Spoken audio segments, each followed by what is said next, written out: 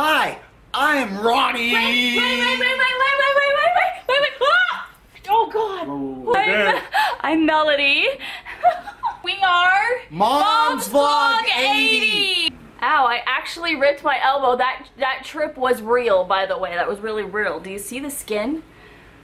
And if you feel like Captain America holding a candle, then you need to come on over. To Mom's Vlog 80 and subscribe. We do daily vlogs just like Carly. We do daily vlogs. We have a family of four, two kids, one autistic, one fighting stage 4 cancer, and you haven't seen us yet. You have to come over because we promote hope and Positivity. and positivity. How so, you doing?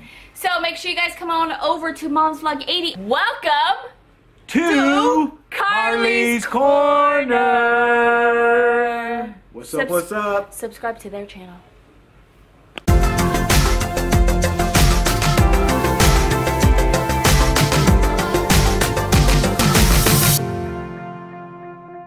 I got the Sunday blues.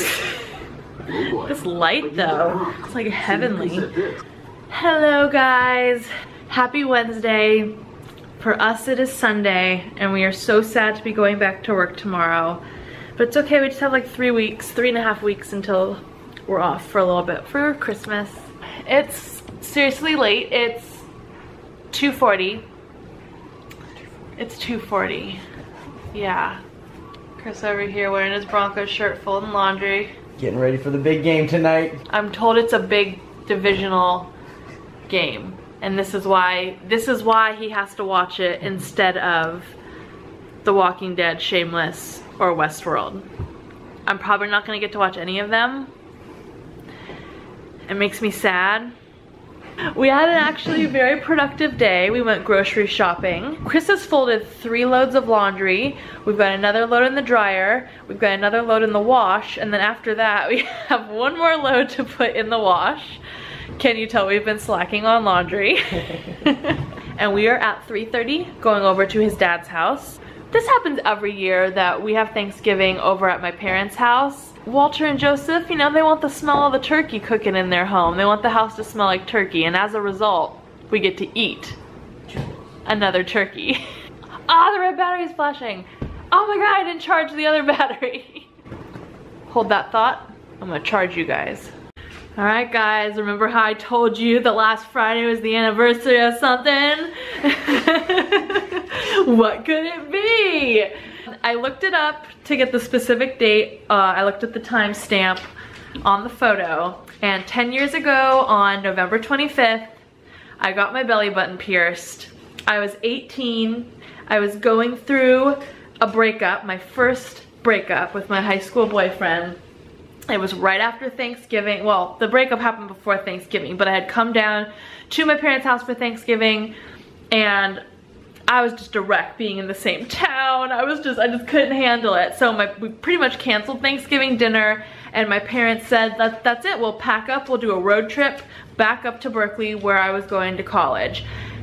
We drove up, we stopped in Carmel. And even though I was in a, I was in a state, you guys. I probably like, I slept and I cried and I slept and I cried and I couldn't eat anything. But I got up there to Carmel. Now Carmel's like a kind of like classy, It's a ritzy area. ritzy classy area. Um, so it, they don't really have a lot of tattoo and piercing places. but I really wanted to get my belly button pierced and my parents being the awesome parents they were were like we're gonna do we're gonna go and we're gonna get your belly button pierced. So we found a place. Mom couldn't come in I think she might have been a little too squeamish about it.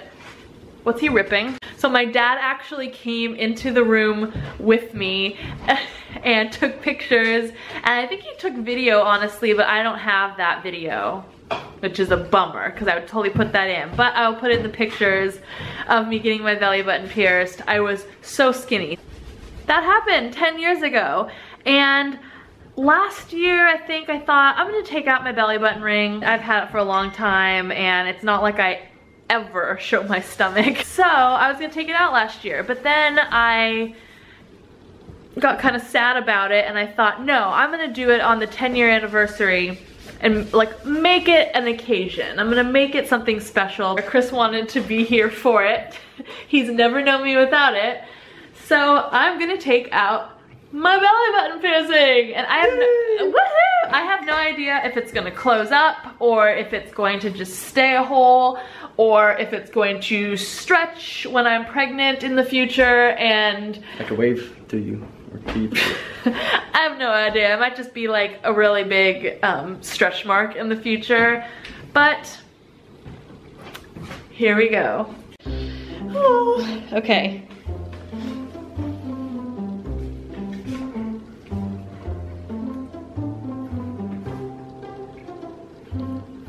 I feel so naked. It's just like a hole now. It's just a hole in my stomach. Down. Cooper, sit. I've seriously not been without this for for 10 years. I've it's so weird. Ah, it's so weird. Do you feel it? Oh wow, that's weird. It's weird. I'm officially over that stage of my life because you know I'm never ever doing that again. One, because I feel like it will no longer be age appropriate, but two, freaking they stick a needle through your, oh, ah! Look at matching ones with our future daughter. That's what my mom almost did with me. nope, I'm done with that. Done with that. I'm all grown up. That's so sad.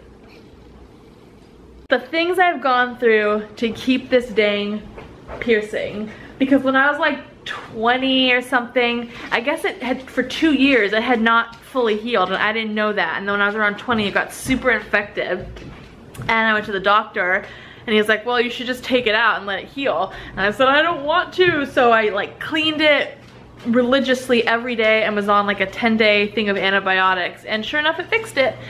And I was able to have it for eight more years, but 10 years, baby. I made it 10 years with my belly button piercing. High five. Oh, sorry, hold up. Wait, that's not a, that's not our normal high five. It's Okay. coming for the aftershock. You need to put that ointment on your knuckles. They're pretty dry. Chris has winter dry skin. He wants to go to Grandpa's so bad that he's crying. Oh, buddy. He's like, he's so happy.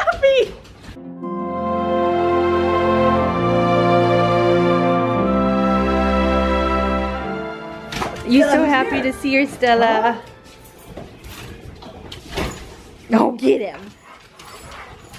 Get him. Get him. I am so stuffed, which is why I showed you my stomach before we went over to dinner. No joke, this change of not having the belly ring is bigger than I thought it would be.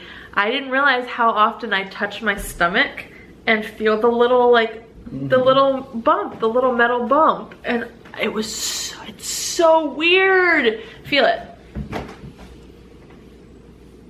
What do you think? Weird. It's weird. It feels different.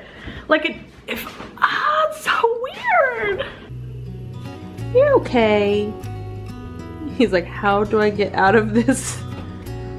It's okay. You're okay. Oh, Charlie. Cooper, don't scare him. Oh, those sleepy eyes. He's fighting the sleep, guys. He's fighting it.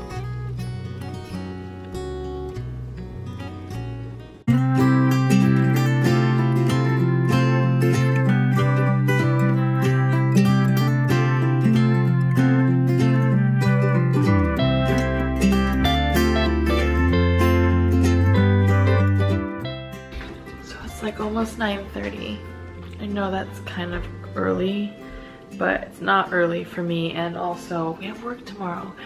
But the Broncos are still playing because something about overtime or I don't know. Chris is still outside um, watching the game and I am exhausted. I'm gonna end the vlog without him because who freaking knows when this game's gonna end.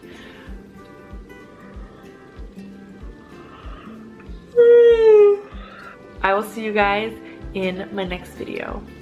Bye guys.